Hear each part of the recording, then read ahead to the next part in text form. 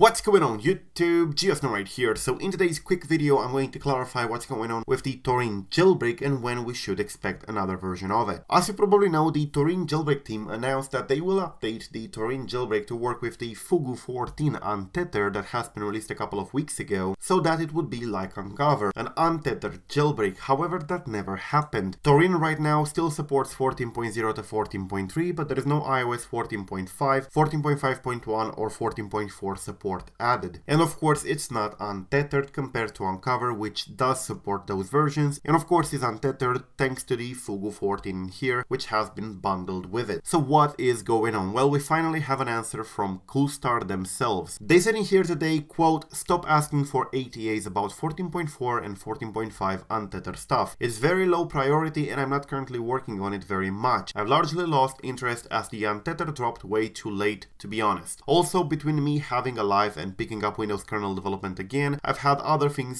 that interest me far more than iOS firmware that I consider long dead. I'll be returning to work on Taurine should an exploit drop for 14.7, 14.8.x or just 15. By the way, if you really want Taurine semi-untethered that bad, on 14.5 you can modify the open source Taurine release to initialize from Fugu 14 libkrw. So basically it's not going to be updated anytime soon for 14.5, 14.4 and so on because according to Cool the Fugu 14 came actually way too late. Those versions are actually considered old at this point, so it's not worth the pain. But they did say they will update Taurine once an exploit for 14.7, 14.6 and so on will be released. And with the security content of iOS 15.2 being packed with patched vulnerabilities, it means that we're not far from that happening in the near future. A kernel exploit will very likely be released in the near future for the versions mentioned by Coolstar, and at that point I'm sure the Taurine jailbreak will be updated as they mention here on the official Sileo Discord. By the way, if you're interested in the Taurine jailbreak development and stuff like that, you can definitely go ahead and join the server. It's the Sileo Taurine Odyssey server here, and this is the official one for Sileo, for Taurine, for Odyssey, even for Electra and stuff like that. If you're still using that, this is their community ran by Coolstar and it's definitely a great community. I am also part of it, so definitely join it if you want to. But yeah, this is basically it with the Taurine for 14.4, 14.5 and 14.5.1. That one will not happen. Now Coolstar mentions something about modifying Taurine in order to support Fugu 14. Well, theoretically you can do that with enough skill. I could do that, but I'm not going to release anything like that because probably Coolstar will not be very happy with a third party release like that. But if you want to do it yourself, you can modify Torin to basically be called out by Fugu and loaded at runtime so that you can basically achieve the same thing that Uncover did. Because Uncover didn't really needed very much of hard work in order to get the untether going. 99.9% of the work in the Uncover for the 14.5, 14.5.1 and 14.4 untethered is basically Fugu 14. So very minimal stuff had to be changed on Uncover, especially since it does use the libkrw by default, which means that it was compatible with Fugu 14 out of the box, which Taurine unfortunately isn't, but can be modified to work with. So if you really need that untethered Taurine to work on 14.5, 14.4 and so on, you can modify it yourself, but there will not be an official release from Coolstar until an iOS 14.7, 14.8 or 15 exploit is out to make it worthwhile. So that's basically it. Thank you for watching. I am GeoSn0w. Till the next time, subscribe to stay updated